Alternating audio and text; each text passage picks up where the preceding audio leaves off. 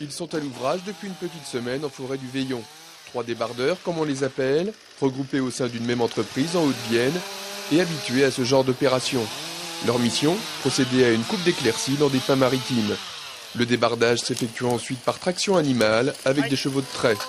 Chevaux tout spécialement destinés à ce type de tâche, souvent ingrates mais délicates. Suivant le niveau des chevaux, on ne va pas les mettre euh, dans des conditions difficiles. On va leur apprendre, faire un apprentissage euh, régulier et on va augmenter les difficultés pour les mettre dans le travail et qu'ils puissent euh, travailler correctement dans les meilleures conditions. Un pas de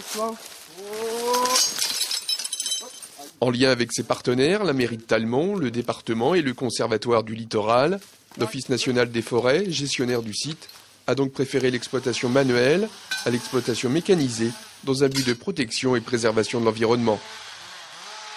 En forêt du Veillon, euh, nous avons la présence de vieux chênes verts euh, qui ont entre 200 et 300 ans. Et euh, bon, le, but, c'est d'essayer de les préserver.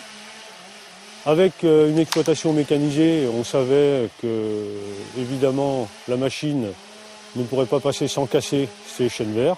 Donc nous avons pris l'option de faire une exploitation manuelle avec du débardage à cheval. Les chevaux euh, au fil parmi les arbres sans faire aucun dégât et cela nous permet d'avoir une coupe euh, exemplaire. 400 mètres cubes de bois seront coupés sur les trois semaines de l'intervention, bois vendu ensuite pour une partie à une entreprise des Deux-Sèvres qui l'utilisera pour en faire de la palette et du sillage.